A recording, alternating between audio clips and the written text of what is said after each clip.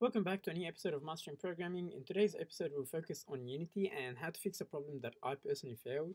Um, so the problem actually sounds pretty simple, and it was to how to install packages or build settings. So I would always head to build settings, and I would try to download, you know, the TV uh, OS or the iOS modules, and it would always fail. It would download, it would um, actually be installed on my computer, but then whenever I tried to run it or whenever I tried to install it within Unity, it would fail and I wouldn't be able to use the iOS package.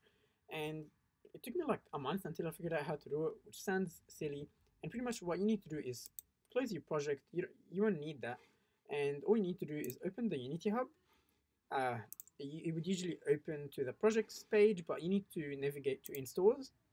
Press on the three dots, press on add modules, and you'll find all the modules available for you to download. So I actually couldn't download iOS build support or the WebGL support or the Facebook Game Room build support.